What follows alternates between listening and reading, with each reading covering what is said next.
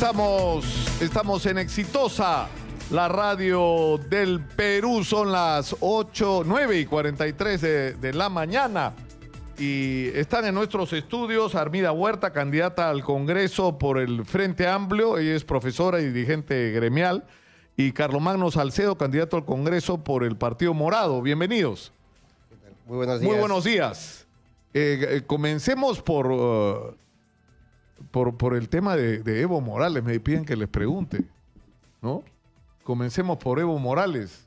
Carlomagno, poco menos que ha celebrado la caída de Evo Morales, ¿o no? No, no, no, más que celebrarlo, simplemente es eh, haber analizado de que esto es consecuencia finalmente del afán de un presidente de aferrarse al poder más allá de lo debido, ¿no?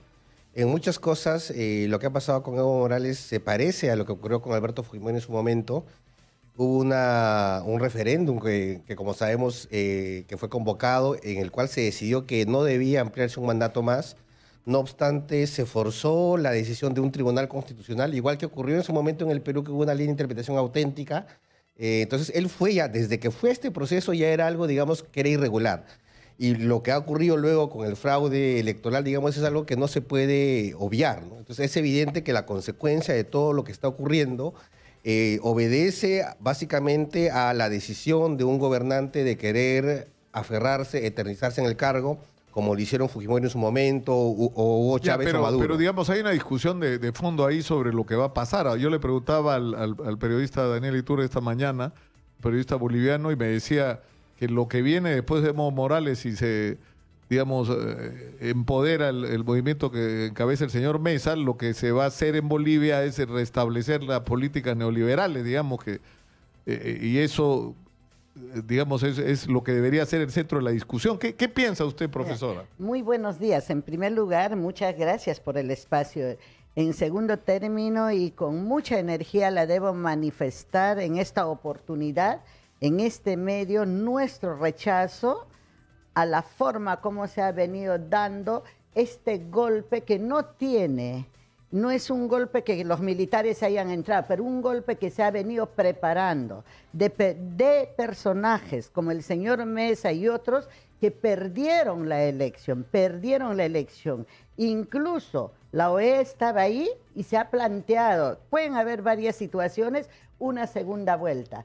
Porque la actitud más salva, la actitud de esas hordas fascistas allá en Bolivia, porque solamente... cuando habla usted de hordas, ¿se refiere a qué? ¿A los fascistas, A la forma como, encabezado por el señor Camacho, dirigido por ellos, han quemado casa, han maltratado a la mujer boliviana y eso nosotros no podemos estar de acuerdo. Han quemado las polleras. Por eso en el alto, anteayer en la noche, el pueblo se levantaba y decía lo siguiente, con mucha razón, la pollera y el pueblo se respeta. Camacho, queremos tu cabeza. La hemos seguido todo el proceso con indignación. Por eso nuestra solidaridad con el pueblo boliviano. Y acá queremos plantear con mucha, mucha claridad qué es la derecha y con qué maldad, con qué saña actúa. Y eso es grave, eso es grave. Y sobre eso no se dice mucho. El caso ya de Evo Morales se puede decir, la reelección, etcétera, etcétera. Eso es otra cosa. Pero lo que nosotros debemos repudiar es la forma como se ha quemado. Se han quemado casas, se han maltratado, se han golpeado mujeres, se han eh, rociado con gases a mujeres indígenas, de la que todos nosotros que estamos sentados acá, tres, tenemos algo de indígena. Y eso no podemos permitir. Eso puede pasar incluso en Puno, incluso en nuestras serranías. El odio que se ha visto con mucha claridad. Ahora, eh, eh, lo, lo cierto es que esto ah, se ha provocado y esta situación ha llegado a los límites que ha llegado por la insistencia de Evo Morales de, de- de reelegirse, ¿no? O sea, Señor Luca. y eso y eso y eso es uh, un tema Ya, que Señor Lucas, ¿no? yo, yo puedo decir lo siguiente, pueden haber habido errores, pero no se puede permitir ni avalar ni decir nada sobre la forma como se viene persiguiendo, quemando, maltratando a mujeres bolivianas, al pueblo boliviano, porque el gobierno de Evo no ha sido el gobierno de Evo Morales, sino del pueblo boliviano, del hombre y mujer indígena que por primera vez en América Latina asumió Más aún, lo que han hecho cuando han entrado al palacio, la huífala, que es el símbolo del pueblo indígena, han quemado, han pisoteado y han gritado, ahora ya no es el gobierno de los indios, sino de los cristianos. Esa la apunté con mucha claridad, lo que han dicho. ¿Eso qué cosa es? ¿Usted sabe qué cosa es eso? Para aquellos que nosotros creemos que en nuestro país han maltratado al campesinado por años y años, para aquellos que creemos que desde la invasión española se nos quitó todos nuestros derechos, el derecho del campesino, del indio, a reivindicarse acá, a trabajar. Mire, un gobierno indígena por primera vez pone en el lugar que pone en el campo económico, en el campo cultural, en el campo educativo a Bolivia. ¿Y sabe qué? Eso hacía pensar. Ahora, ¿qué, qué, qué dice Carlomagno todo esto? A ver, el- yo creo que uno de los graves problemas que hay en América Latina en general es que cuando alguien es de derecha, celebra, digamos, las derrotas de la izquierda, ¿no? Este, y cuando alguien es de izquierda, celebra las, las derrotas de la derecha y no toma en cuenta si en esto se viola o no la democracia, si se respetan o no las reglas de las elecciones, etcétera, ¿no? Entonces, eh, digamos, hay dictaduras de izquierda, hay dictaduras de derecha, ¿no?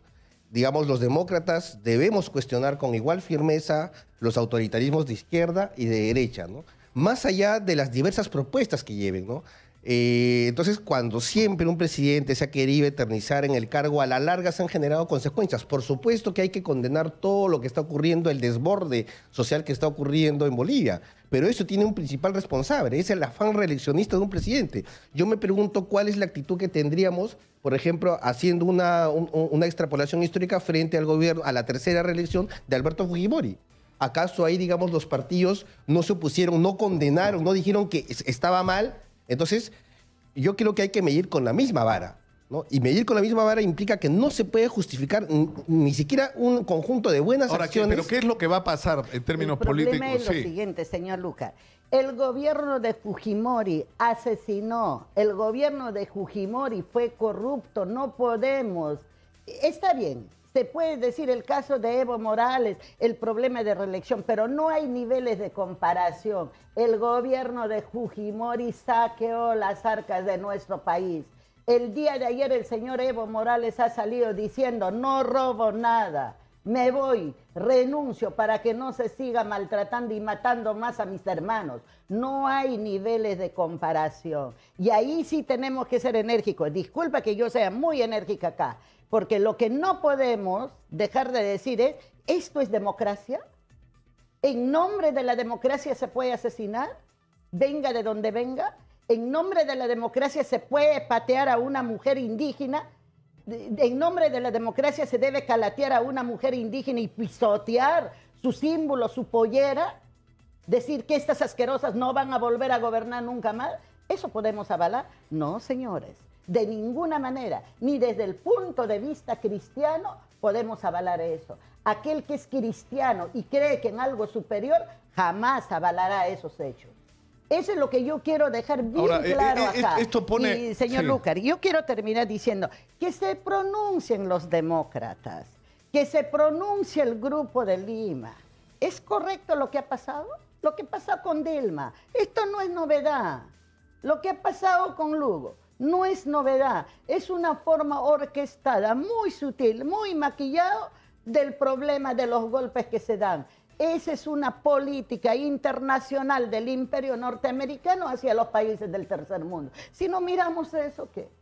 Yo solamente quiero decir acá a nuestro país, al pueblo peruano, que hay que estar muy claro. ¿Qué es Ahora, que ¿usted considera que, que, por ejemplo, en este caso el Partido Morado representa esa derecha de- a No, no, de no, no, no, no. Yo creo que el señor, el pueblo, sabrá a quién representa el Partido Morado y a quién representa el Frente Amplio. ¿Cuál es la posición del Frente Amplio? que ha tenido una trayectoria impecable, diría, en el Congreso en la lucha frontal contra la corrupción. Y hoy por hoy, la lucha al lado de su pueblo, al lado de sus maestros, al lado de sus campesinos, al lado de los sectores desposeídos. El pueblo será el que diga si el partido morado es de derecha. No tengo por qué manifestarme sobre eso, señor Lucar. Y sabrán cuál es su ideología. Si los señores tienen la ideología, la propuesta ideológica de la derecha, serán ellos que deben contestar. Nosotros no tenemos la propuesta de la derecha absolutamente para nada. A ver, eh, un, par de cosas, ¿no? Eh, yo no sé cuál es la postura, por ejemplo, que hay respecto de los regímenes de Hugo Chávez y Maduro, que son altamente corruptos y han generado también muchas muertes en su pueblo y son de izquierda. O sea, el asunto es que, insisto, todo demócrata tiene que ser consecuente y respetar la democracia y repudiar toda forma de autoritarismo de derecha o de izquierda y no tomar postura de acuerdo a tu ideología, ¿no? Si es una dictadura de izquierda, la avalo y solamente critico las dictaduras cuando son de derecha. Respecto al Partido Morado, nosotros nos hemos declarado siempre un partido de centro, de centro republicano. Y somos un partido de centro porque, entre otras cuestiones, ¿qué es lo que propugna el centro? El centro, para empezar, es el espacio político más leal con la democracia porque el centro no tolera los extremismos, o sea, se aleja de los extremismos. Y lamentablemente en los espacios de la derecha y de la izquierda hay sectores extremistas que no son leales con la democracia. Ciertamente hay una derecha liberal y una izquierda liberal que sí no tienen ningún inconveniente con la democracia. Y no, el otro elemento de una postura de centro republicana es que nosotros priorizamos la reforma. O sea, queremos cambios sociales, somos conscientes de que el modelo liberal ciertamente ha generado muchos niveles de desigualdad. Lo que está ocurriendo en Chile, Nicolás Zucar, tiene mucho que ver con la de gran desigualdad que existe en el modelo y esto tiene que ver con políticas neoliberales en las cuales se ha creído que el rol del Estado tiene que ser lo más alejado de las políticas sociales y que el Estado solamente tiene que garantizar el mercado. Nosotros sí creemos ciertamente en un Estado que claramente promueva el desarrollo, un Estado que, por ejemplo, promueva la, divers la diversificación productiva del país, un, Estado que intervenga en lo, que tenga que intervenir sin ser absolutamente intervencionista en todo, pero que esté donde tenga que estar el Estado. Una política de centro republicano respeta las instituciones de la democracia sustancialmente, pero también procuramos la igualdad social. Estamos, Nicolás, en un país profundamente desigual. En estos días se ha estado viendo un documental muy importante, La Revolución y la Tierra. De, de Velasco, la ¿no? reforma agraria. ¿Y por qué es importante más allá de toda la discusión?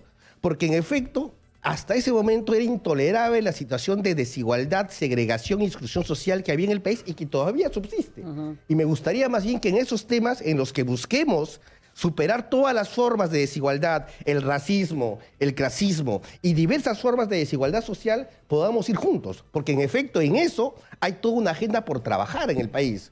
Por ejemplo, nosotros tenemos la agenda del feminismo. ¿Y por qué tenemos la agenda del feminismo? Porque una de las formas de discriminación histórica, no solo en el Perú, sino en gran parte del mundo... Despachado, está despachado, Carlos Mano, todo, el, todo el programa. ¿no? Ahora, yo, yo tengo una interrogante. O sea, ¿Qué es el Partido Morado? ¿Es el partido a través del cual Julio Guzmán quiere ser presidente? O sea, ¿cuál es el, cuál es el origen del movimiento? ¿El movimiento que se construye alrededor de una persona que considera que está calificado para gobernar el país? ¿O, o, o, o la construcción de un proyecto nacional del cual puede ser Guzmán, puede ser cualquier otro?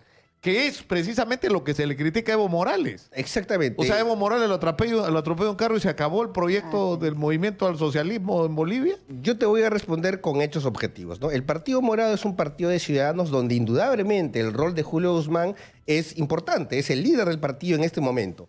Pero lo que nosotros hemos hecho desde el año 2016 que se excluyó al partido fue el proceso serio y decidido de construcción de una organización política nacional. Un solo indicador todos nuestros candidatos que han pasado por el proceso de democracia interna, absolutamente todos son militantes.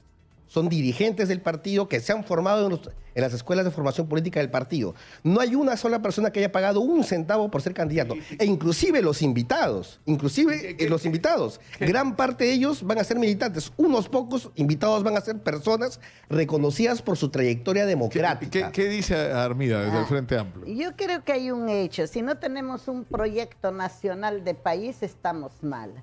Nosotros hemos visto que los partidos políticos en este país han llegado a niveles de ser empresas privadas. Por esto tenemos grandes problemas, el caso de Ke eh, Keiko Fujimori, el caso de Ollanta, etcétera, etcétera. El proyecto, un partido, tiene que tener qué tipo de país quiere. En el Frente Amplio sí se sabe con claridad qué tipo de país se quiere. En el Frente Amplio se sabe con claridad ¿Qué entendemos por democracia? Democracia directa. Y yo quiero acá un segundo aclarar. La ONU en su última reunión ha elegido más de, ciento, más de 105 países han elegido como representante de la ONU, que no se ha publicado, al parte del gobierno venezolano. Yo me pregunto, más de 105 países a nivel mundial, a alguien que está en contra de los derechos humanos lo eligen. ¿Estos señores a nivel mundial están locos? ¿Qué ha pasado en la ONU? Eso no se ha publicado en la prensa. Ha habido entre, entre Venezuela y otro país de América y ha salido elegido Venezuela. Entonces, ¿qué está pasando? ¿O es que nos quieren lavar el cerebro y hacernos ver lo que quiere que la derecha veamos? La democracia está bien. La democracia, pero la democracia representativa no permite cuando las cosas avanzan. El proceso de Bolivia es como ha ido avanzando, cómo ha ido viendo el problema de la educación, el problema de salud. Es uno de los países que ha crecido eso no, pero no condenan, por ejemplo, la re, re, re, reelección de la primera ministra de Alemania. Eso es democracia, ¿qué vas a condenar? Eso no, eso está bien porque son los blancos, pero este es un indio, a este indio sí hay que condenarlo. Acá hay una dosis muy fuerte de racismo. Eso es lo que hay que hacer ver también, señor Lucar, ¿no? Sí, tenemos que ir terminando por, el día de hoy. Yo le agradezco a ambos por estar con nosotros. Vamos, estamos iniciando así la, discusión y la presentación. ¿Me regalas 20 segundos? Sí, por supuesto. Yo coincido, yo coincido eh, en que en efecto uno de los problemas del país es la existencia de partidos empresa, partidos membrete. Justamente contra eso surge el Partido Morando y hay otros esfuerzos interesantes pero nuestro partido es un partido de militantes, ¿no? Y en segundo lugar, sí tenemos un proyecto nacional, un proyecto de país, que es un proyecto republicano. Lamentablemente ya no, ya no me da el tiempo para poder Vamos a tener tiempo porque... Pero vamos a poder No mucho, pero tiempo va a haber. un segundito para Brevísimo, por favor. Muy breve, sí. Yo solamente quiero llamar a nuestro pueblo y a todos los pueblos de América Latina que siempre confiemos en nuestras propias fuerzas, nunca nos dejemos encantar por las palabras bonitas o subliminales de la derecha. La que está acá al frente es candidata del Frente Amplio, indudablemente soy maestra de escuela pública y voy con el número 10 del Frente Amplio. gracias. paso se hizo su propaganda. Mi propagandita, sí. Muchas gracias, Muchas gracias. Muchas gracias, Armida Huerta del Frente Amplio y a Carlos Magno Salcedo del